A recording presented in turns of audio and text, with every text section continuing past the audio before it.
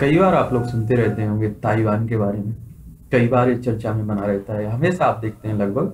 तो आज देखेंगे हम लोग भारत और ताइवान के रिश्तों के बारे में जानेंगे। और जो आपका चाइना है, उसके बारे में भी कुछ पॉइंट हम लोग देख लेंगे। याद रखिए, जब आप अंतर्राष्ट्रीय संबंध पढ़ते हैं तो उससे मैम उस टॉपिक में आपको ये भी सभी देश शामिल रहेंगे। फिर चाहे आपका चाइना संबंध हो, या किसी भी विश्व में जितने भी देश हैं उनसे, और इनसे हमेशा क्वेश्चन भी पूछे जाते रहे।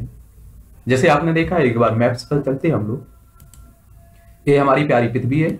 इसमें एशिया है, ए, ठीक है? इसमें हमारा प्यारा भारत है, एशिया में। देखिए, आप अपने पड़ोसियों की बात करें तो ये आपका श्रीलंका हो गया।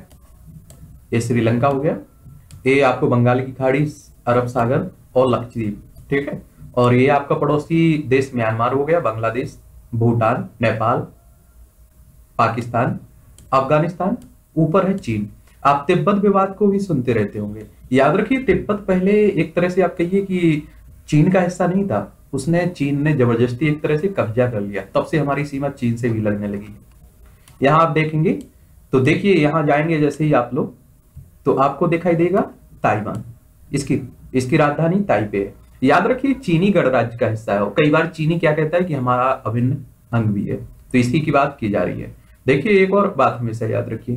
भारत को इस तरह की रणनीति हमेशा अपनानी चाहिए। क्योंकि आपने देखा है जम्मू कश्मीर को हम लोग, हमारा हिस्सा था तो हम लोगों ने 370 हटाई तो उसका एक तरह से विरोध किया चाइना ने।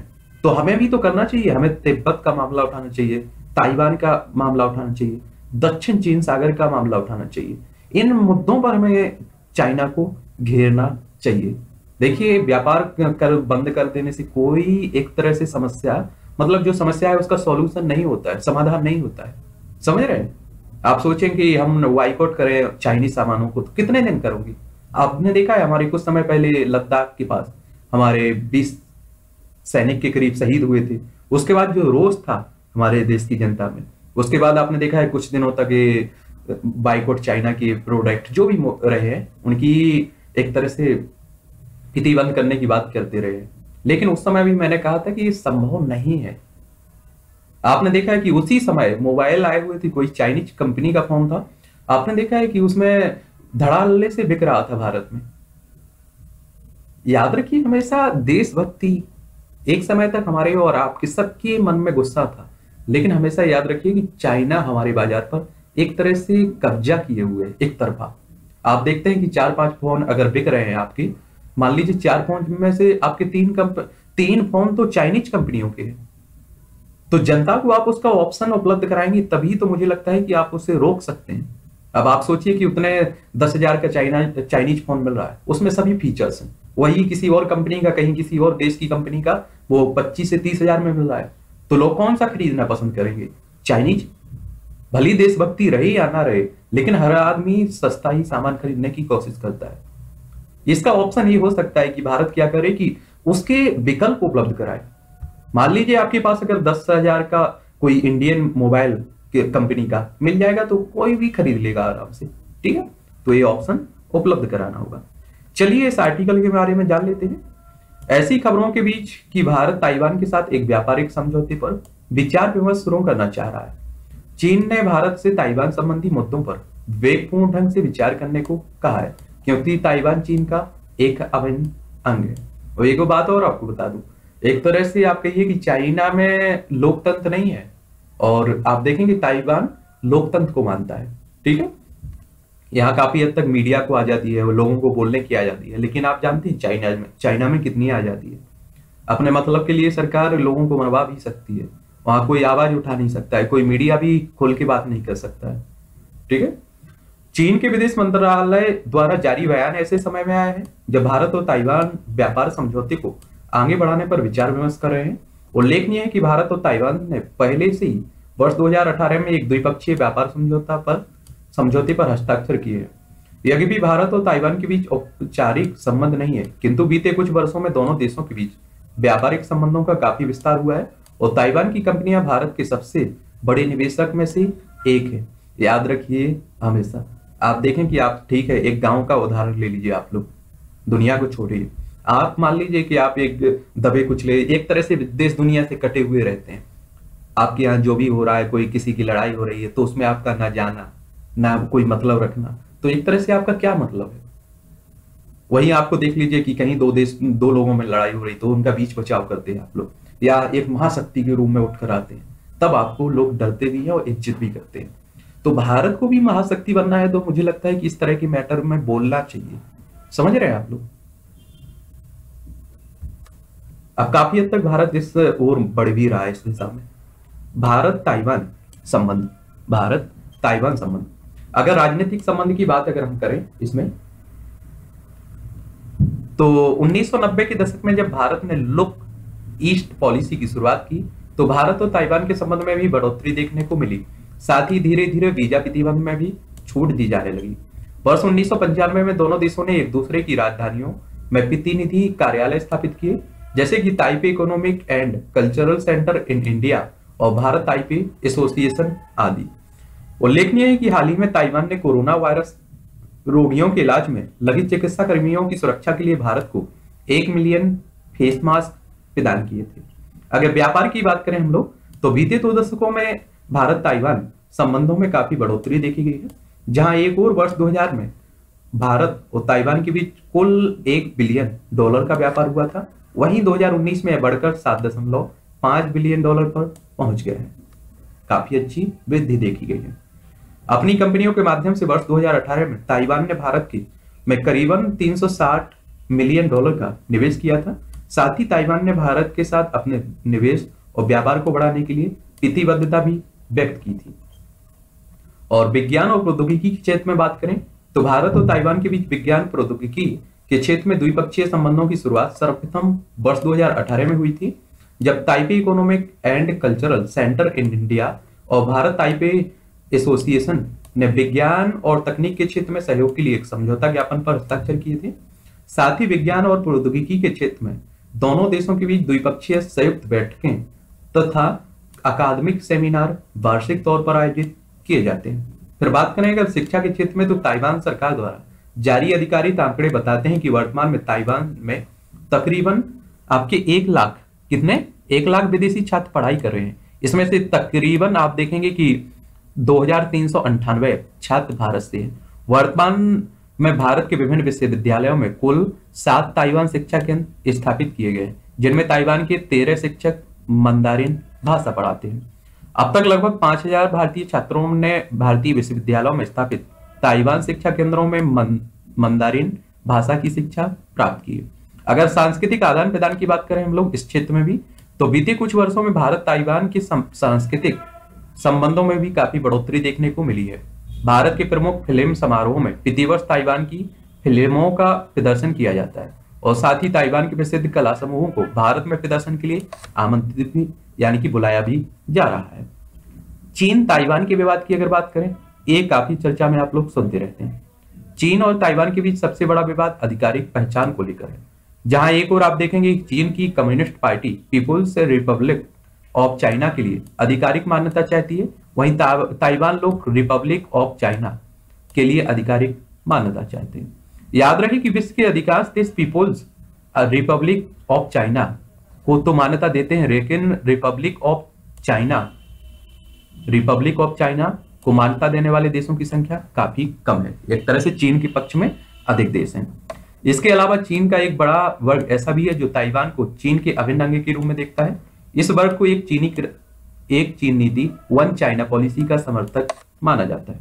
इस समूह के अनुसार ताइवान चीन का अभिन्न अंग है, जो और जो लोग people People's Republic of China के साथ कूटनीतिक संबंध स्थापित करना चाहते हैं। उन्हें रिपब्लिक ऑफ़ चाइना के साथ अपने कूटनीतिक संबंध समाप्त करने होंगे। इस नीति के समर्थक मानते हैं कि ताइवान चीन का ही हिस्सा है और कुछ समय के लिए चीन से अलग हो गया तथा जल्द ही इसे कूटनीतिक अथवा सैन्य माध्यम से चीन में शामिल कर लिया जाएगा। एक बात आपको लोगों को बताऊँ, देखिए, परिस्थिति अलग है, लेकिन एक उदाहरण से आप लोग समझ सकते हैं। देखते थे आप लोग, जम्मू कश्मीर को हमारा अभिन्न अंग कहते थे हम लोग। ठीक है? यानी कि हमारा ही क्षेत्र था। हम लोगों ने उसे अपने अंदर पूरी तरह से सम्मिलित कर लिया है। अब आप देखते हैं कि एक पीओके वाला हिस्सा और बचता है। बाकी हम लोगों ने पूरी तरह से 370 खत्म करके, यानी कि 370 का जो भी उस स्पेशल दर्जा मिला हुआ था, उसे हटाकर अब वो सभी एक तरह से प्रावधान जो अन्य राज्यों में लागू होते हैं, वो वहाँ भी लागू होंगे। ठीक है? तो ये भी एक तरह से मान लेते हैं कि इसी का। लेकिन परिस्थिति अलग है। देखिए आप लोग जम्मू कश्मीर में अधिकतर जनता भारत की ही है और भारत में ही सम्मिलित होने के लिए राज़ी है एक तरह से। लेकिन यहाँ की अलग परिस्थिति है, ठीक है? अगर भारत के लिए ताइवान का महत्व की बात करें तो याद रहे कि भारत संयुक्त राष्ट्र के उन एक सदस्यों में से एक है जिसने ताइवान के साथ औपचारिक राजनयिक संबंध स्थापित नहीं किया है। हालाँकि ताइवान के महत्व को इस बात से समझा जा सकता है कि भारत समेत विश्व के तकरीबन 80 देश ऐसे हैं जिन्होंने ताइवान के साथ अनौपचारिक और आर्थिक संबंध स्थापित किए हुए हैं। अमेरिका द्वारा चीन को रणनीतिक रूप से पछाड़ने का भरपूर प्रयास किया जा रहा है और इन्हीं प्रयासों के तहत अमेरिका ताइवान के साथ अच्छे संबंध स्थापित करने के प्रयास कर रहा है। इस प्रकार संभव है कि भविष्य में ताइवान पूर्वी एशिया में चीन का मुकाबला करने हेतु महत्वपूर्ण भूमिका अदा कर सकता है। एक तो क्या हैं कि देखिए, उतना संसाधन नहीं है ताइवान के पास, उतना शक्तिशाली नहीं है ताइवान। चाइना को आप जानते हैं जग जाए है। यदि ऐसा होता है तो यह भारत की लुक ईस्ट पॉलिसी और इंडो पैसिफिक क्षेत्र में भारत की बढ़ती भूमिका के लिए महत्वपूर्ण साबित हो सकता है। अमेरिका, चीन बीच चल, के बीच चल रहा व्यापार युद्ध, ताइवान को चीन में स्थापित अपनी विनिर्माण इकाइयों को दक्षिण पूर्वी एशिया तथा भारत आदि में स्थानांतरित करने पर विचार के लिए मजबूर भी कर। रहा हालाँकि चीन और अमेरिका के बीच व्यापार युद्ध की शुरुआत से पूर्व भी ताइवान ने 2016 में न्यू साउथ वाउंड पॉलिसी की घोषणा की थी। इस पॉलिसी का उद्देश्य 10 आसियान, देशों के साथ साथ ऑस्ट्रेलिया, न्यूजीलैंड और भारत के साथ अपने संबंधों को मज़बूत करना है। अगर आप बात करें विश्व भर में ताइवान को एक टेक टेक पावर हाउस के रूप में जाना जाता है। हालाँकि घटती जन्म दर और प्रवासन में वृद्धि के कारण ताइवान में कुशल श्रमिकों का अभाव देखा जाता है और ताइवान समय समय पर कुशल श्रमिकों को आकर्षित करने का प्रयास भी कर रहा है। ऐसे में ताइवान में कुशल श्रमिकों की मांग भारत के लिहाज से काफ़ी महत्वपूर्ण हो सकती है। आंकड़े बताते हैं कि वर्तमान में ताइवान में मात्र 2000 भारतीय कार्य कर रहे हैं। यदि इस संख्या को बढ़ाने का प्रयास किया जाए तो यह भारत के युवाओं युवाओं खासतौर पर तकनीकी क्षेत्र में कारगर, युवाओं के लिए काफ़ी महत्वपूर्ण अवसर हो सकता है, क्योंकि हमारे पास काफ़ी जनसंख्या है। भारत, चीन और ताइवान की बात अगर हम लोग करें तो चीन हमेशा से ही ताइवान के साथ किसी अन्य देश के संबंधों का विरोध करता आया है। उसका मानना है कि चीन के साथ राजनयिक संबंध स्थापित करने वाले सभी देशों को एक चीन नीति का सख्ती से पालन करना होगा। और एक तरह से आप देखिए, लद्दाख में या चाइना कहीं भी इस तरह का अरुणाचल प्रदेश में देख लीजिए, सिक्किम के पास देख लीजिए। इसीलिए दबाने की कोशिश करता है कि जैसे आप देखिए जम्मू कश्मीर का आपने देखा है, लद्दाख वाला हिस्सा उसमें, उसने एंट्री कर ली वो चाहता है कि भारत उसका एक तरह से सपोर्ट करे। भारत उससे नीचे दबके रहे। ठीक है? वो अगर भारत इस तरह की शर्तों को मान ले तो अभी वो छोड़ के जा सकता है। लेकिन हम, आप समझिए कि आप गुलामी नहीं, गुलाम बनकर हम काम नहीं कर सकते। अभी हम भी एक महाशक्ति के रूप में उभर रहे हैं, ठीक है? हालाँकि इसके बावजूद इंडो पैसिफिक एवं पूर्वी एशिया में चीन की बढ़ती आक्रामकता ने भारत तथा ताइवान के संबंधों को और मज़बूत करने का कार्य किया है, क्योंकि इनमें दोनों ही देशों के रणनीतिक हित शामिल है। इसके माध्यम से जहाँ ताइवान एक स्वतंत्र राष्ट्र के रूप में अपनी पहचान को और मज़बूत करने का प्रयास कर सकता है तो वहीं भारत इसके द्वारा दक्षिण चीन सागर में नेविगेशन की स्वतंत्रता सुनिश्चित करने तथा इस क्षेत्र में अपनी तेल एवं गैस की खोज गतिविधियों को और आगे बनाने का प्रयास कर सकता है। ताइवान स्वयं को इंडो पैसिफिक क्षेत्र के एक महत्वपूर्ण सदस्य के तौर पर देखता है और क्षेत्रीय शांति, स्थिरता तथा समृद्धि में योगदान करने के अपनी प्रतिबद्धता को स्वीकार भी करता है, जो इस क्षेत्र के लिए भारत के दृष्टिकोण के साथ मेल खाता है।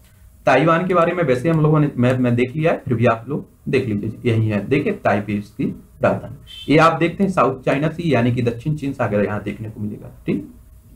ताइवान पूर्वी एशिया का एक द्वीप है द्वीप है जैसे चीन और चीन की कम्युनिस्ट पार्टी एक विद्रोही क्षेत्र के रूप में देखती है। तकरीबन छत्तीस हज़ार एक सौ संतानवे वर्ग किलोमीटर क्षेत्र में फैले इस द्वीप की आबादी तेईस दशमलव उनसठ बिलियन के आसपास है। ताइवान की राजधानी ताइपे है जो ताइवान के उत्तरी भाग में आपको देखने को मिलेगी यहाँ। जहाँ एक और चीन में एक दलीय शासन व्यवस्था है, वहीं ताइवान में बहुदलीय लोकतांत्रिक व्यवस्था है। यानी कि ये लोग लोकतंत्र को मानते हैं। मंदारिन ताइवान में राजकार्यों की भाषा है।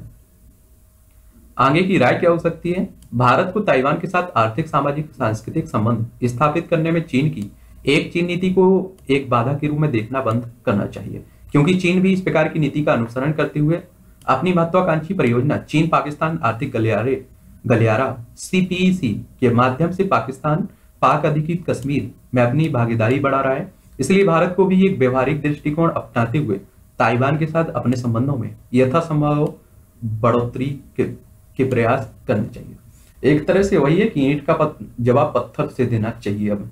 सीधी सी बात करने का मतलब। आप देखते हैं पीओके वाले इससे में कई परियोजनाओं को चलाने की बात और कई चला भी रहा है। चाइना। तो हम भी क्यों पीछे रहे? हमें भी तिब्बत का मामला हमेशा उठाना चाहिए। हमें ताइवान का मामला हमेशा उठाना चाहिए। दक्षिण चीन सागर पे हम लोगों को एक तरह से आगे बढ़ के आना चाहिए। तो इससे हम लोग एक तरह से रोक सकते हैं। ठीक है? तो यही कहानी थी आपकी। इसमें क्या रहता है कि कई बार आप देखते हैं कि मैथ में लिखित परीक्षा में आपका पूछ लेता है और कई बार प्रीलिम्स में भी आ जाते हैं क्वेश्चन से। ठीक है?